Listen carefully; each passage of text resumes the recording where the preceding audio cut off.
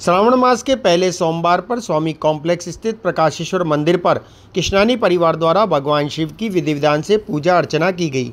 इस मौके पर सर्वप्रथम स्वामी ग्रुप के सीएमडी कमल प्रकाश कृष्णानी, उनकी पत्नी प्रियंका कृष्णानी, पुत्रवधु गायत्री कृष्णानी और पौत्र निर्वित कृष्णानी द्वारा भगवान शिव का जलाभिषेक कर चंदन और पुष्प अर्पित किए गए। इसके पश्चात पूर्ण श्रद्धा भाव से भगवान शिव की महाआरती की गई। शांति पृथ्वी, शांति श्याम, शांतिर्भवतु। सुख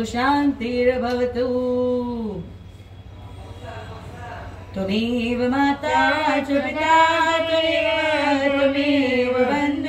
च सखा विद्या त्वमेव। मम देव।